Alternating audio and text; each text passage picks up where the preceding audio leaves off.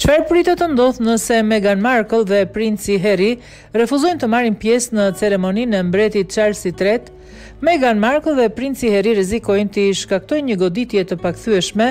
familjes mbretërore nëse zgjedhin të mos marrin pjesë në kurorëzimin e mbretit, pohoi një ekspert mbretëror. Duka dhe dukesha e Sussexit, të cilët morën ftesat e tyre për ceremoninë e 6 majit, janë ende duke e menduar Nëse do të marrin apo jo pjesë në kurorëzim.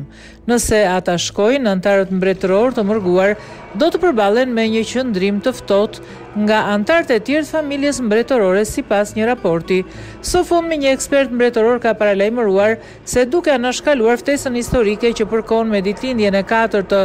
Princit Archie dhe Meghan dhe Harry mund të shkaktojnë një përçarje fatale në